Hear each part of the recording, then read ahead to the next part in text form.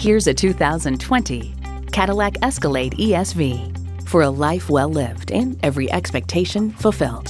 And with features like these, every drive's a pleasure.